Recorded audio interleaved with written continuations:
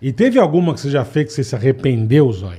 Você fala, puta, eu não devia ter feito isso, cara. Ah, mano, tem várias, hein, velho? É Tem mesmo? uma- tem uma que eu quase fui preso, mano, tá ligado? Que era no Natal, velho. Foi em 2019 isso daí.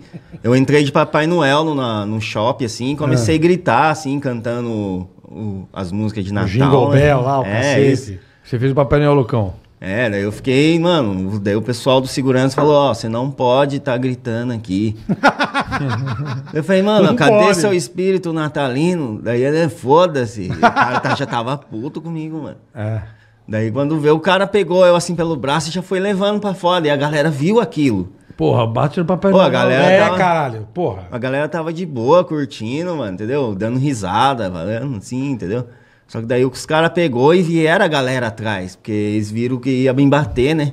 E a galera falando, solta ele, e tava É. de boa. E várias galera atrás, mano. Tinha umas que até reconheceu eu, tá ligado? Daí começou a gritar assim, é o Zóia, tá filmando ali. Mas não adiantou, não. Mas daí eles soltaram, tá ligado? Mas se não fosse a galera, eu ia tomar uma É, coça então, ali, é, mano, então. atrás ali. Porque você tem que ir shopping, ainda mais shopping.